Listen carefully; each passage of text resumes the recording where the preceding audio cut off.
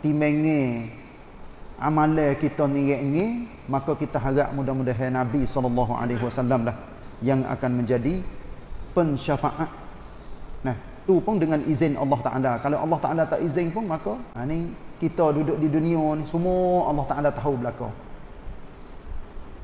Kecil besar hak kita buat semua Allah Taala tahu. Lepas tu Allah lah ia prakmen sendiri siapa sepatutnya dapat syafaat. Hak ni hak jelas-jelas dah.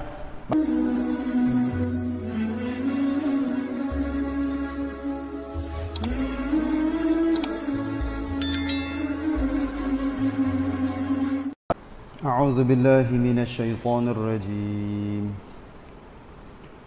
يومئذ لا تنفع الشفاعة إلا من أذن له الرحمن ورضي له قولا يعلم ما بين أيديهم وما خلفهم ولا يحيطون به علما. وعنت الوجوه للحي القيوم وقد خاب من حمل ظلما. ومن يعمل من الصالحات وهو مؤمن فلا يخاف ظلما ولا هضما. Ayat 109 sampai 112 surah Taha. Sambung daripada ayat-ayat sebelum pada ni hubungnya dengan uh, hari mahsyar iaitu hari kiamat. Yang Allah Taala firman ayat 109 ni pada hari itu iaitu hari kiamat tidak berpeedah syafaat dari dan kepada sesiapa pun. Daripada dan kepada siapa pun. Tak ada peedah kecuali siapa tu? Kecuali dari orang yang diizinkan oleh Allah yang melimpah-limpah rahmatnya dan kepada orang yang diredai perkataannya. Ha ni inilah kita duk harap benar-benar. Kalaulah timenge amalan kita ni ni maka kita harap mudah-mudahan Nabi sallallahu alaihi wasallam lah yang akan menjadi pensyafaat. Nah, tu pun dengan izin Allah Taala. Kalau Allah Taala tak izin pun maka syafaat tu tak ada boleh wi kepada siapa-siapa. Lepas tu dan kepada orang yang diredai perkataannya. Siapa tu? Yakni pada hari kiamat tidak ada sesiapa pun yang boleh memberi atau mendapat syafaat pertolongan kecuali orang-orang yang diizin oleh Allah untuk memberi atau mendapatnya. Alhamdulillah ni wallahu alam kita serah kepada Allah. Siapa yang Allah nak nak gi apa?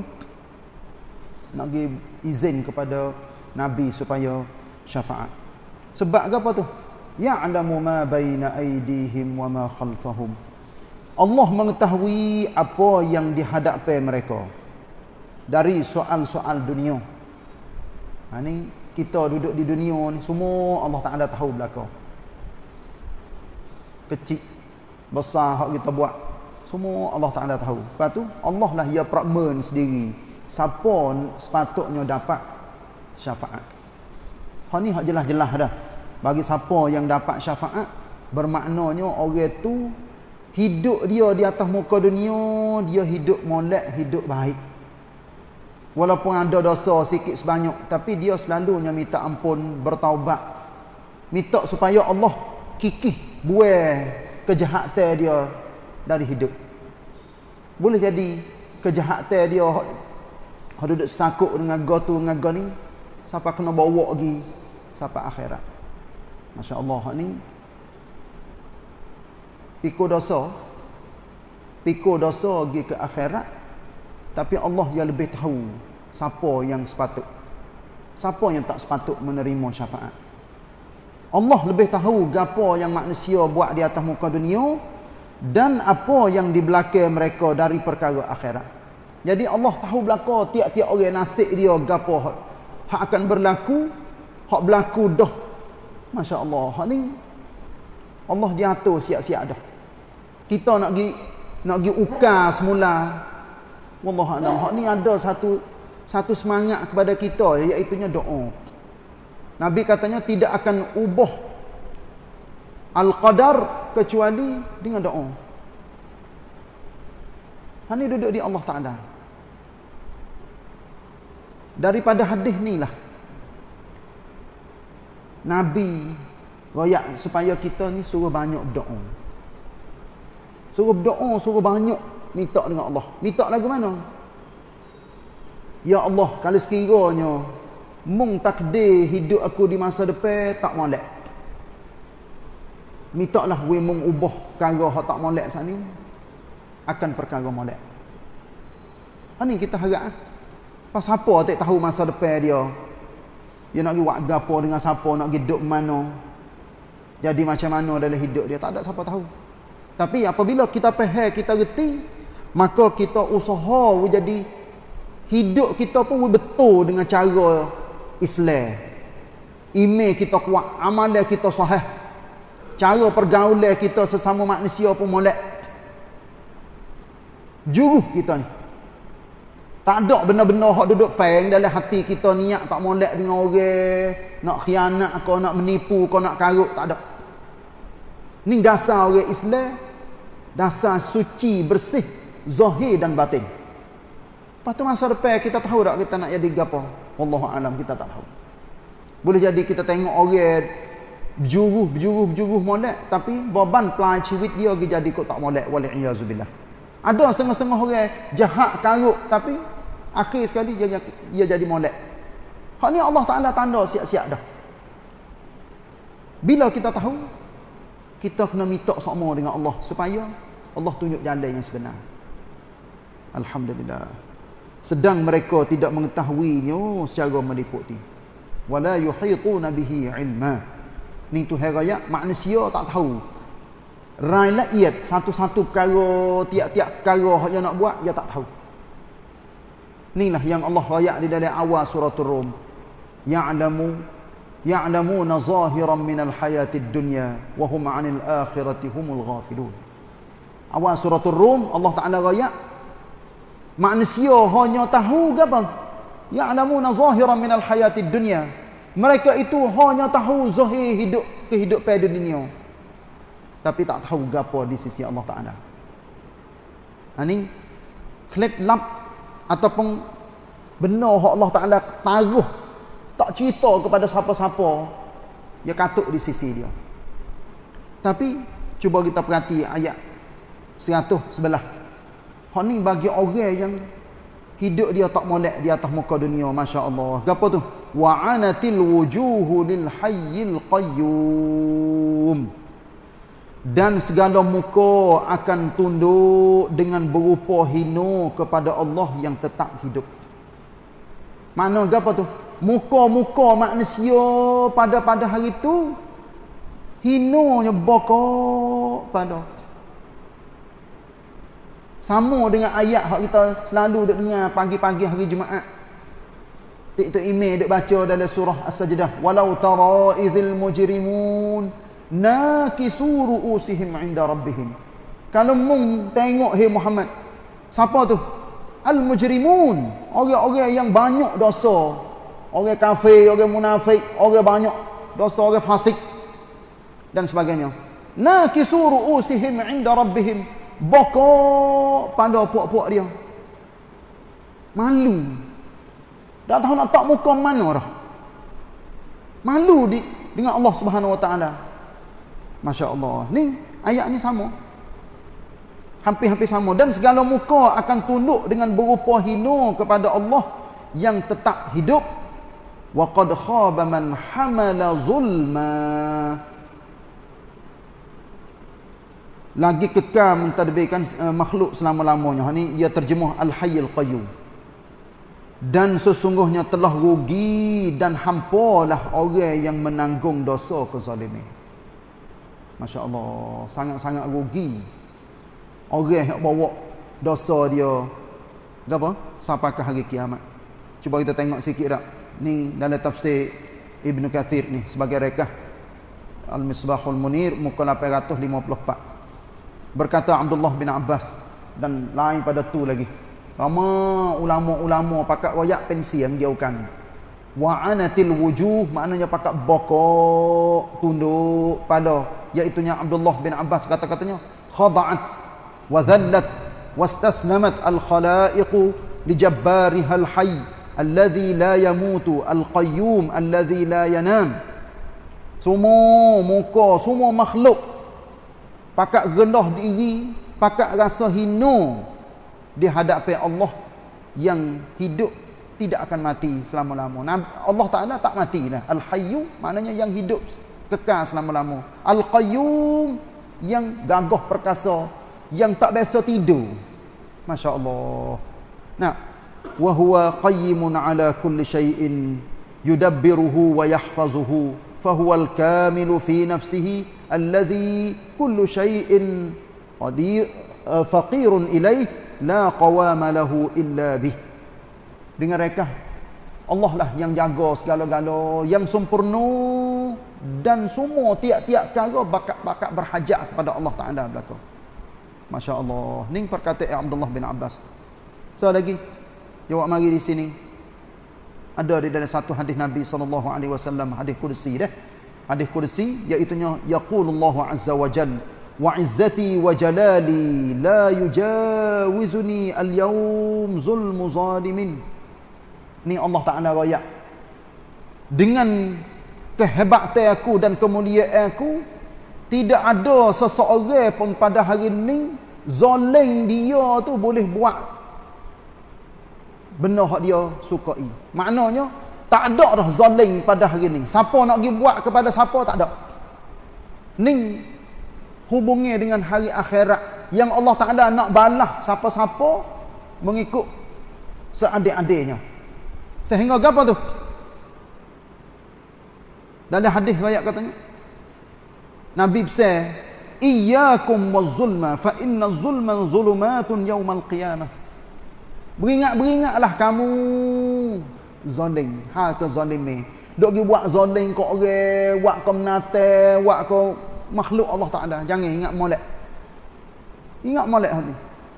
Jangan buat zalim walaupun sikit pun tak boleh. Sebab apa tu? Fa inna zulma zulumatun yaumal qiyamah. Sebab kezaliman yang orang buat saat ni gelak gelemak dah sikit lagi pada hari kiamat. Dia duduk dalam gelak. Chair tu orang dah duduk dalam gelak, gelemak, tak tahu tak tahu nak pergi mana. Orang tu banyak zalim. Sama ada dia zalim kepada diri dia sendiri, kepada bini dia, keluarga dia, anak dia, kepada orang dan sebagainya. Masya-Allah, makan duit tengah corruption. Nah, boboh dalam poket dia, masuk dalam tanakan dia. Hak orang jadi hak dia. Menipu, khianat, kelong. Mas, ikutlah kita nak sebut apa. Ni masuk dalam hadis ni belakang. Apa tah lagi manusia yang mai kamning dosa pahala. Nanti mikir nanti nak nak nak, nak, bubuh dalam poket dia. Nanti nak boleh nak kau banyak. Nanti tak ada lah manusia. Dia tak ada takut kepada Allah Taala so dia dia berasa katanya boleh buat belakang. Dia berasa katanya dia boleh buat belakang. Sakcai dia. Nanti tua sikit lagi nak tabat. Dia mikir lagi tu. Ha itulah. Bila kita tengok manusia tabiat dia cara go tu cara go ni, banyak yang manusia ada buat. Masya-Allah. Nah, so lagi. Hak pandai besar sekali dosa ataupun zalim iaitu syirik. Ha ni tengok ulama ya ya sakut juga. Inna syirka la zulmun azim. Sesungguhnya syirik adalah satu kezaliman yang sangat besar Lepas tu Allah Taala akhiri ni dalam ayat yang saya baca ni tak. Wa may ya'mal minas salihati wa huwa mu'minun fala yakhafu zulman wala hadma. Ayat 112 ni. Dan sesiapa yang mengerjakan sebarang apa dari amal-amal yang soleh. Allah, ni kita harap benar dah. Amalan kita akan menjadi amal yang soleh. Amalan yang jernih, yang molek yang kita akan tawai kepada Allah Taala sikit lagi. Amal soleh ni ulama pakat sepakat katanya dah kena dengan perintah Allah dan betul dengan sunnah Rasulullah sallallahu alaihi wasallam. Dua tu itulah amal soleh. Kalau tak kena dengan dua ni jangan harap katanya nak jadi amal soleh. Walaupun rajin walaupun berasa katanya kena bulak gete dak dak dak dak dak. Tak kena. Ingat molek tu takrif amal soleh. Turut perintah Allah betul dengan sunnah Rasulullah sallallahu alaihi wasallam. Itulah amal soleh. Sebab Nabi sebagai contoh, kalaulah kita minta maaf ni dah, tak ada dak dak mengepek ke apa ni. Kalau sekiranya kita duk buat, duk berasa katanya hak ni molek, contoh ada tak? Tak ada. Maka sia-sia kita buat. Saya misal mudah-mudah misal katanya kita subhanallah lepas ada semaya subhanallah alhamdulillah apa ni? Allahu akbar.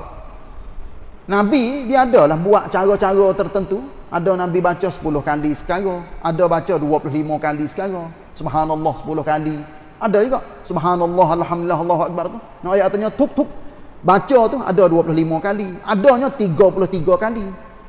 Kita misal saja ah, aku soal sikit Nabi buat aku nak baca 100 sini lepas ada semaya nak kali bila wasabah subhanallah subhanallah subhanallah subhanallah sampai 100 alhamdulillah alhamdulillah alhamdulillah 100 Allahu akbar Allahu akbar Allahu akbar 100 kalau kita tanya 100 dengan 33 hak mana banyak cerak nak 100 banyak oh. Tapi kena tak dengan ajaran Nabi? Tak kena. Nabi tak ada buat alih. 100. Nabi rakyat katanya 33, 33, 33. Lepas tu cukup dengan la ilaha illallah wahdahu la syarikalah. Lahul mulku wa lahul hamdu wa ala kulli syai'in qadir. Cukup 100. Siapa baca hak ni? Tiap-tiap kali lepas pada semaya, dosa dia akan diampun semua walaupun banyak buih laut. Tapi kita hidup reka, lah aku nak baca 100. 100 lebih banyak ada 33. Kena tak dengan ajaran Nabi? Tak kena, bukan amal soleh. Kalau kita nak buat masalah ni tak apa. Kita nak pergi baca masalah ni, kita duduk dia-dia puas-puas duduk saja. Subhanallah, subhanallah, subhanallah. Nak seribu kali pun tak ada apa. Sebab apa? Sebab bu dia bukan amalan lepas pada semaya dak. Ya amalan tu apa? Inilah yang Allah raya katanya wa may ya'mal minas salihat wa huwa mu'minun. Tengok. Siapa yang buat amal soleh sedangkan dia beriman. Dia sama dengan ayat ni. Duk di dalam surah apa ni? Surah An-Nahli. Ni ayat belum pada ni dalam juzuk 14 lagi. Allah raya katanya siapa-siapa yang beramal soleh wa huwa mu'minun falanuhyiyannahu hayatan tayyibah Orang ada buat amal soleh serta dengan dia berimej. Tuhan janji falanuhyiyannahu. Tengok ni, orang ngaji nahu dia tahu. Nescaya baba-baba kat pondok dia terjemah. Nescaya kami akan menghidupkannya dengan kehidupan yang baik. Wala najziyannahum ajrahum bi ahsani ma kana bima kanu ya'malun. Dan nescaya kami akan wi kebaikan kepada dia keduduk ke iaitu nya pahala balasan pahala iaitu nya syurga bima kanu ya'malun dengan apa yang mereka itu amal masa duduk atas dunia sebab tu kita kena jadi amal soleh iaitu cara hidup kita atas muka dunia nah akhir sekali maka tidaklah seharusnya ia merasa takut di dianyanyai atau dikurangkan sedikit pun dari pahalanya ni orang beramal soleh Orang berjuru, orang baik. Orang yang dalam rabuk dia dia panggil krop wong con. Semua molek belaka insya-Allah. Kalau mati hari ni pun tak ada pelak. Tak ada takut sikit aku. Aku duduk dalam kubur sini. Kalau sekiranya kita yakin katanya kita amal soleh. Tapi hodok bosannya ah. Kalau dia tanya takut tak akan mati? Eh jangan jangan dia tanya aku takut. Sebab apa? Hak tu tak ada nak buat lagi, hak tu tak ada nak nak nak nak, nak selesai lagi. Ha, sebab apa? Sebab dia takut bosan hak tu. Hutang orang tak bayar, mengupak banyak. Hmm kata kat orang tak berhenti-berhenti. Makan duit orang tu goning goning goning. Oh banyak. Pas bila nak selesai mati de depan kita dah. Ha itulah. Kena selesai sokmo dalam hidup kita. Triumph from tuk wit nanti. Duduk dalam kubur. Lepas tu kita akan bakit sikit lagi. Dalam keadaan kita menjadi ahli syurga insyaallah. Wasallallahu ala nabiyina muhammad wa ala alihi wasahbihi wasallam wasalamualaikum warahmatullahi wabarakatuh.